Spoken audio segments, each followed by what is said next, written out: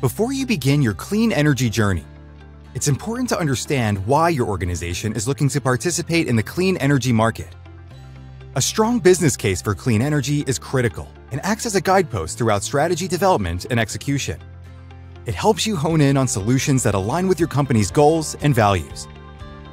Customers are most successful when they are clear on why they are undertaking clean energy procurement Going through the process of building a business case helps gain internal buy-in and lays a resilient foundation that will help down the road with RFP language, project selection, financing, ESG storytelling, internal approvals, and getting deals through to close.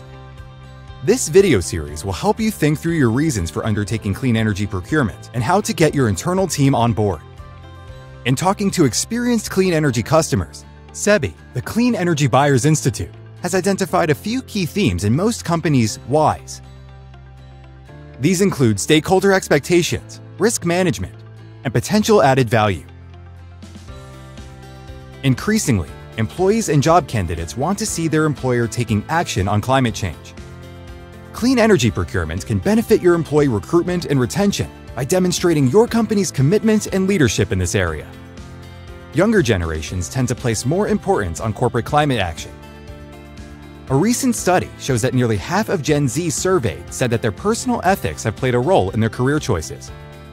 Procuring clean energy, and beyond that, procuring it in the most impactful way, can also help an energy customer differentiate their brand from their competitors and draw in climate-conscious clientele.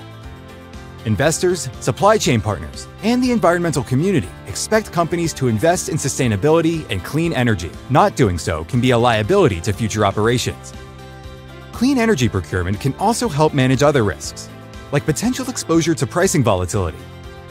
An on-site energy project, for example, allows a company to use less electricity from the grid so they are less exposed to fluctuating electricity prices.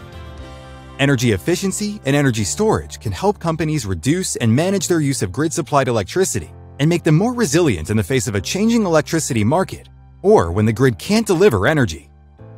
For companies that own their own facilities, clean energy procurement can also add profit and value. Clean energy solutions like rooftop solar and EV charging stations can add to a building's value over its lifetime and at time of sale. Now that you can answer why an organization might participate in the clean energy market, consider what motivations might be especially relevant to your organization. Use the Building the Business Case for Clean Energy Procurement workbook to help you. Then, Watch the next video to pinpoint specifically what you might want to accomplish with each clean energy project you pursue.